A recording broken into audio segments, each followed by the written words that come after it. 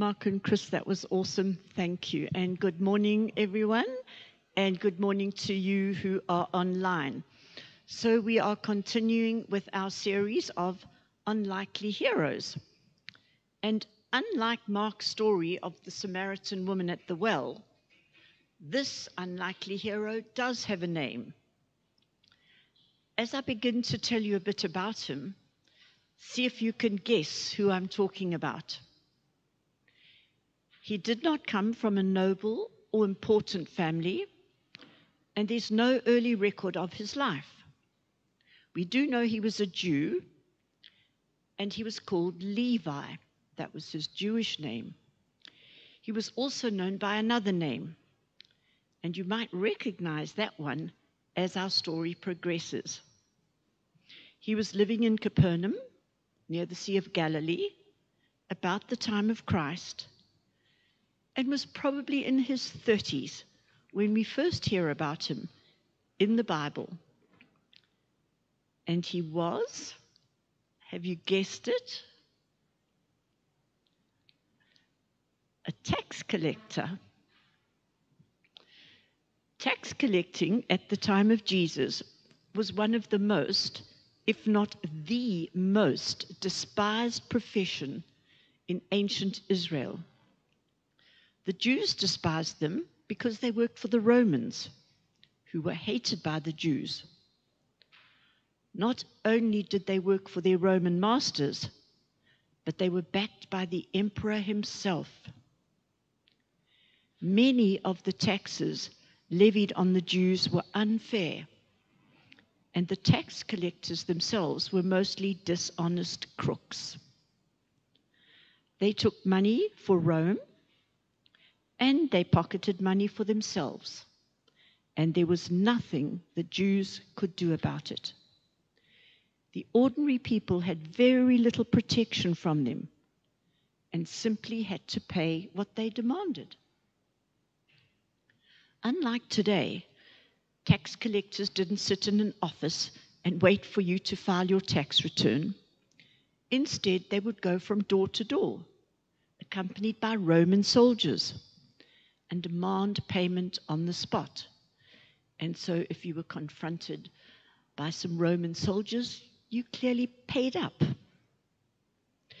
It was not uncommon for a tax collector to invent tax codes to benefit himself, or for a person to be forced to pay the same tax twice in one day. Nice people, aren't they? Some would set up booths in commercial areas to tax the merchants and the traders and the customers passing by. And this is where we meet our unlikely hero.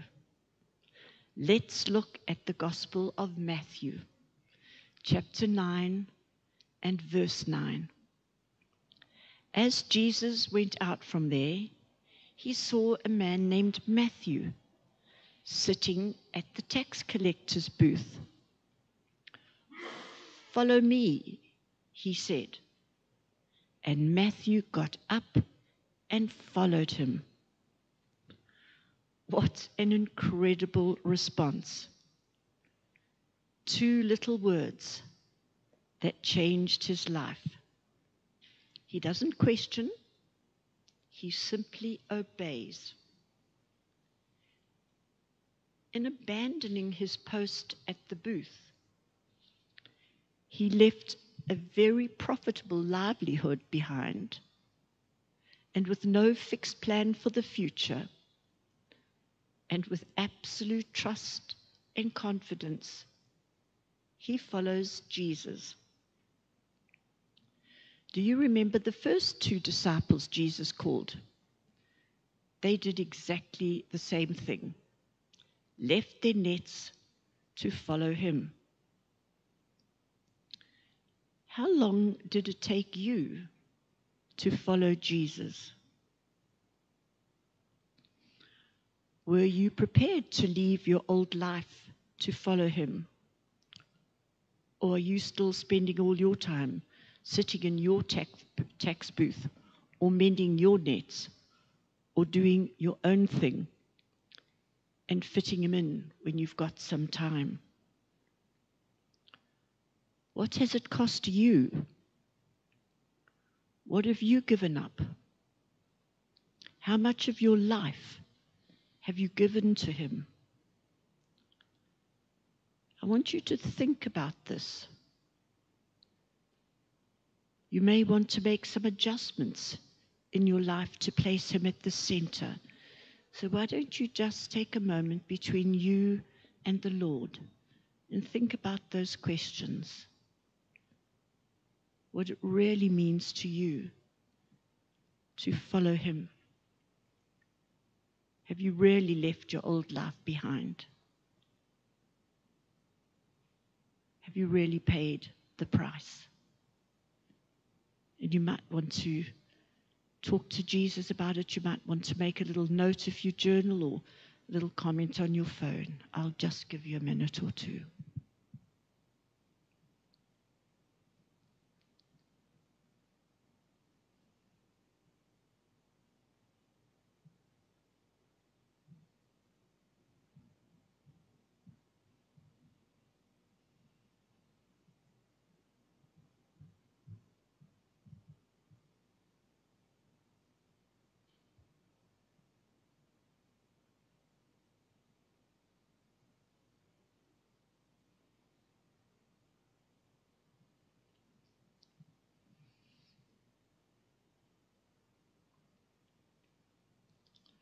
Hope you won't forget those questions and maybe take them home with you this week and think about them.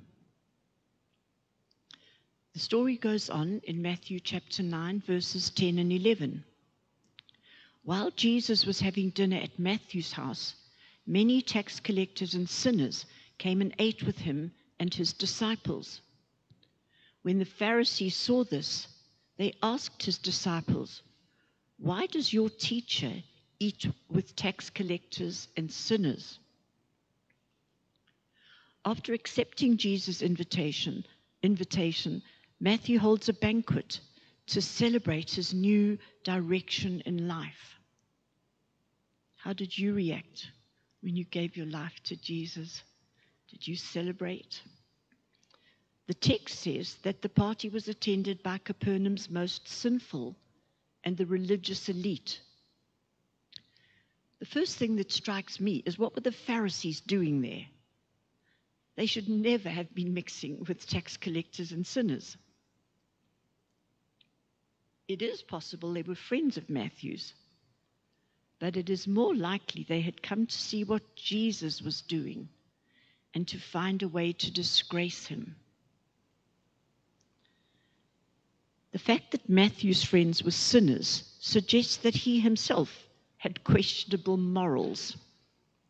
When you imagine the cultural stigma of his profession and the questionable nature of his friends, you can begin to understand the scandal his calling was. This rabbi, becoming a disciple of a rabbi, or teacher was a great honor that was not just given to anyone. As one of the most famous teachers of his day, Jesus' decision to call a man like Matthew undoubtedly confounded many.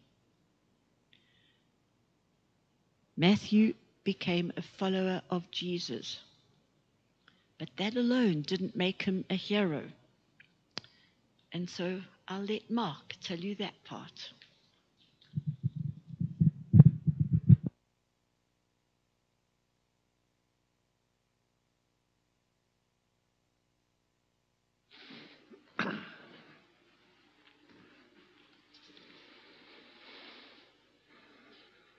Part two. What makes Matthew a hero in my eyes is that he took the time and made the effort to write an account of the life of Jesus. And it wasn't a short account, it's actually the longest of the four Gospels. Matthew went from tax collector to theologian.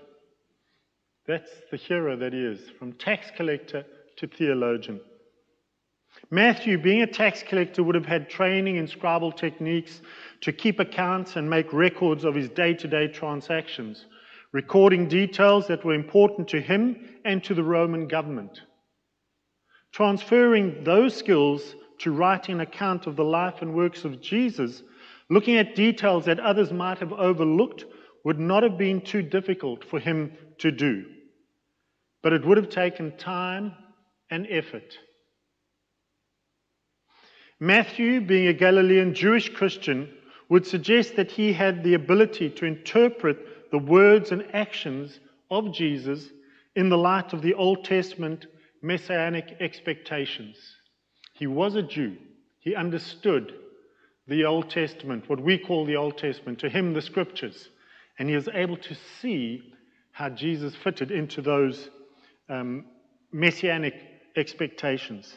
His account of Jesus of Nazareth is a compelling witness that Jesus is the long anticipated Messiah who brought the kingdom of God to earth and is the prophesied fulfillment of God's promise of true peace and deliverance of both Jew and Gentile.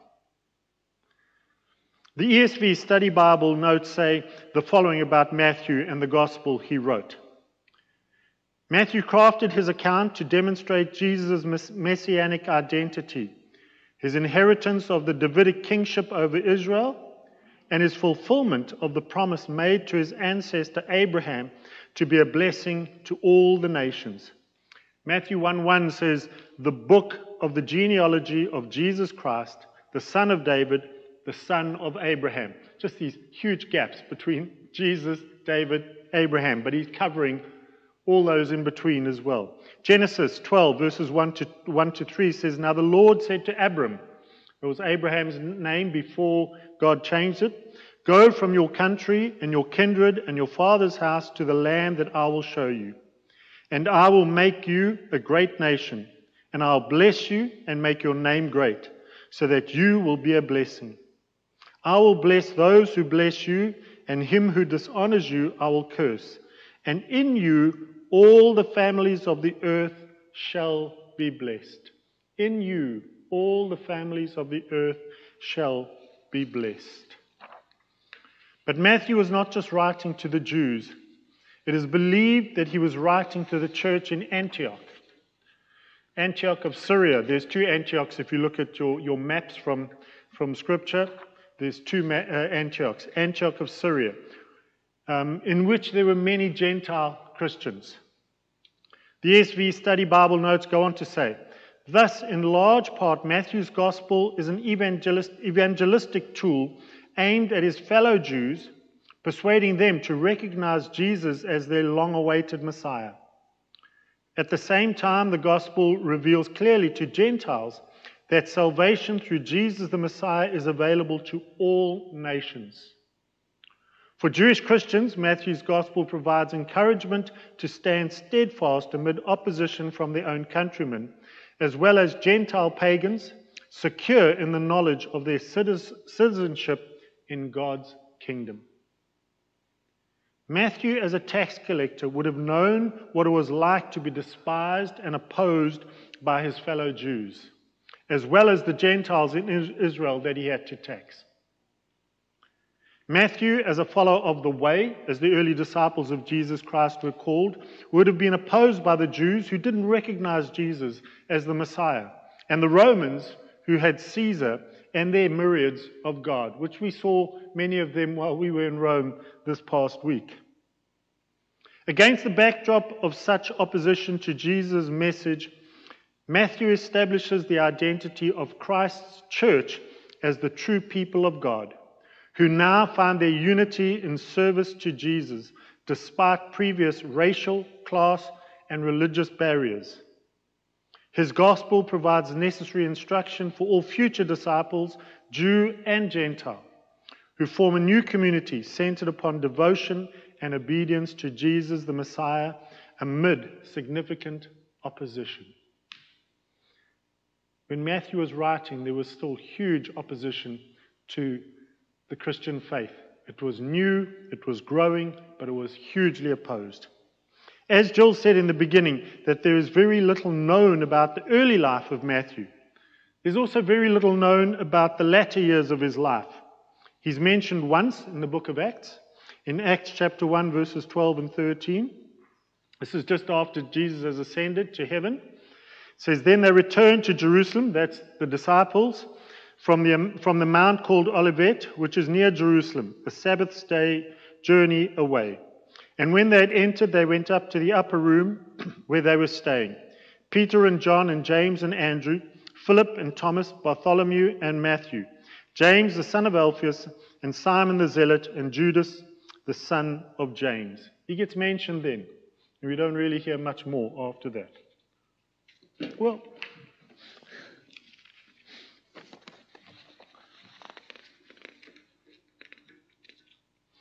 little to nothing is known of his missionary journeys or the churches he founded.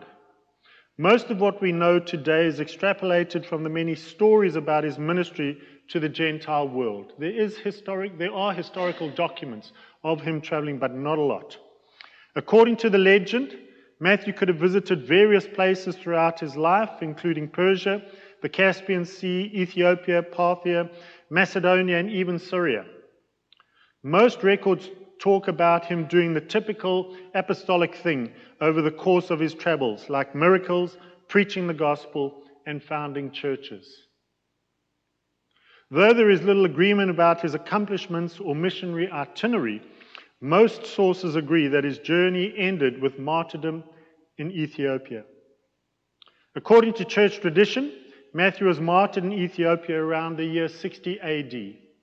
And what was amazing when we were in, in, in uh, Rome now, and when we went on trips, and the guides were there talking to you, they all spoke about before Jesus Christ, the birth of Jesus Christ, or after Jesus Christ.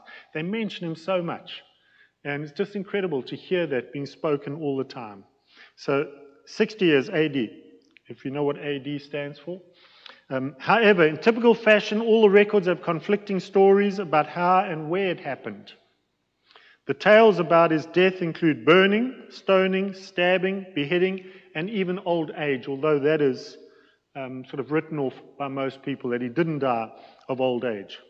One of the most popular stories about his death is preserved in a book called The Golden Legend. In the legend, Jesus sends Matthew to Ethiopia, where he enjoys a long, fruitful ministry. However, after Matthew rebukes King Hyrtacus during a service, things go south very fast. The local king, Matthew says something to him that upsets him. The king orders one of his soldiers to kill Matthew, who, without hesitation, stabs the apostle with his sword. Matthew offended the king of Ethiopia. The king of Ethiopia orders his death, a soldier carries it out. Unlike the high ranking followers of other religious founders, uh, the apostles were unconcerned with their legacy. Their mission was to bring the gospel to the world, not build monoliths to themselves. That's why you never really see statues of them unless you go into some of the, the churches where they have put up statues of them, but nothing outside for everyone to see. Before running into Jesus, Matthew was the kind of person others would write off as unfixable. How many of us were, were thought to be like that? Well, how many people have you heard of, the stories, heard their testimonies of them being looked at as unfixable? Those drug dealers or the murderers or the you know, people in prison whose lives change and turn around when they encounter Jesus Christ. And yet, in three short years, he was transformed into the sort of individual God could trust his gospel to. From this person who was seen to be unfixable becomes one who is touched by Jesus over a three year period, and later on in his life, he writes the account. Obviously, inspired by the Holy Spirit, he writes the account of his time with Jesus and the story of Jesus. We ought to be grateful to Matthew, the unlikely hero, who gave us the opening book of the New Testament, the Gospel of Matthew. Sorry, lost. The last page is all muddled up, Joel. There we go.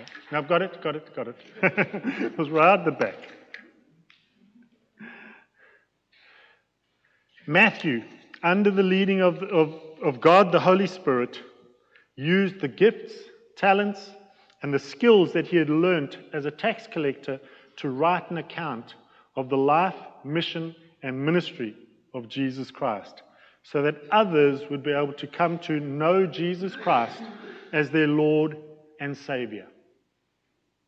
Matthew learnt these skills and he used those skills and those gifts to write this account for us, for our benefit, and for the benefit of all those who have gone before us and those that are coming after us. How are you using your gifts, talents, and learned skills to reach out to others with the good news of Jesus Christ? What gifts, what skills have you learned or have you been given? And how are you using those to reach out to others with the good news of Jesus Christ? Amen. Some discussion questions. And as, as I said in the beginning, let's discuss them and then let's leave the prayer time for after, um, after our worship again and ministry, we'll have it during the ministry time there. First question What stood out for you in this message? Second one is share briefly how you became a disciple of Jesus Christ. And if you're not there yet, don't worry. If you're on that journey, it's a journey you are on. And um, just ask or share with people where you are on your journey. And then, thirdly, as Gill mentioned earlier, what changes did this bring about in your life, in your journey to becoming a disciple? When you became a disciple, what changes did this bring about in your life? And then, last one, just a repeat of the question I've just asked you. How are you using your gifts, talents, and learned skills to reach out to others with the good news of Jesus Christ? So, we've got 20 minutes to discuss that. For those of you who are watching online, thank you for being with us. And if you're with someone, I trust you will discuss these questions between you. And uh, thank you.